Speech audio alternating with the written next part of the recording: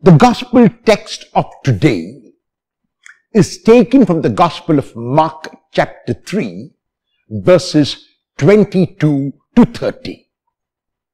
In the gospel of Mark, the first half up to chapter 8 is situated in Galilee. And Galilee is a place where Jesus is accepted, except in his hometown. Whenever outsiders create trouble for Jesus in Galilee, they come from Jerusalem. And that is why in chapter 3 verse 22, Mark will say, the people who came from Jerusalem to Galilee made this allegation against Jesus.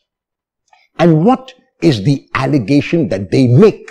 The allegation is that Jesus gets his power cast out demons from the prince of demons whom they call Beelzebul. And Jesus listens to this allegation, which is absurd, and responds in a very logical manner. And the logical manner is this. If Jesus is getting his power from the prince of demons, then why would he cast the demons out? It would be better for him if he let the demons remain because the prince of demons is giving him the power. So very clearly, if he is casting the demons out, he cannot be on the side of Beelzebul. He cannot be on the side of the prince of demons, but gets his power from God. And then Jesus goes on to further explain how the demon is a strong person. The demon can take hold of a person. The demon can enter deep into a person's psyche, the person's heart, the person's mind, and the person is unable to look beyond him or herself. That is the kind of possession which Jesus has come to destroy by the kind of person that he is, and he calls himself the stronger man. It is only when the stronger man comes that he can bind up this strong man who is Beelzebul, the prince of demons, and cast him out. And then Jesus makes a statement which is a very poignant statement, a very sad statement, which each one of us is called to reflect on. And the statement is this. Every sin against anyone, even against Jesus himself, Jesus says here, will be forgiven. But whoever blasphemes against the Holy Spirit can never be forgiven he or she is guilty of an eternal sin.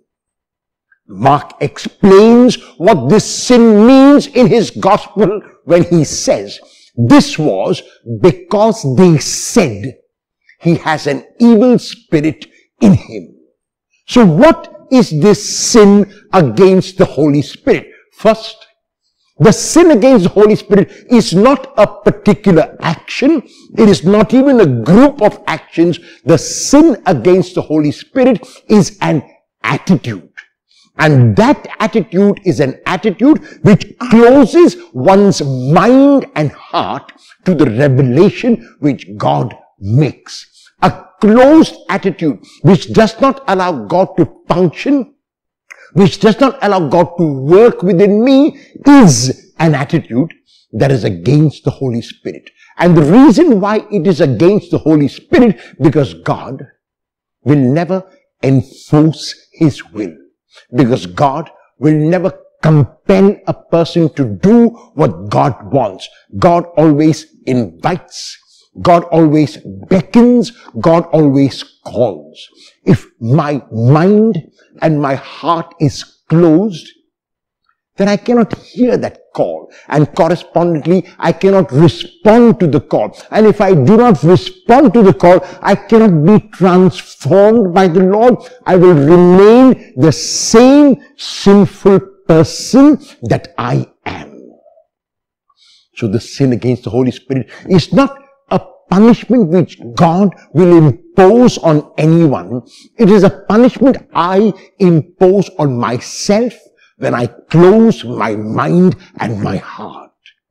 Today, the sin against the Holy Spirit is to no longer believe that the Holy Spirit can transform me, is to become so nervous and sad about myself is to become so inward looking about myself, is to become so low in my own self-esteem and think that I am beyond redemption.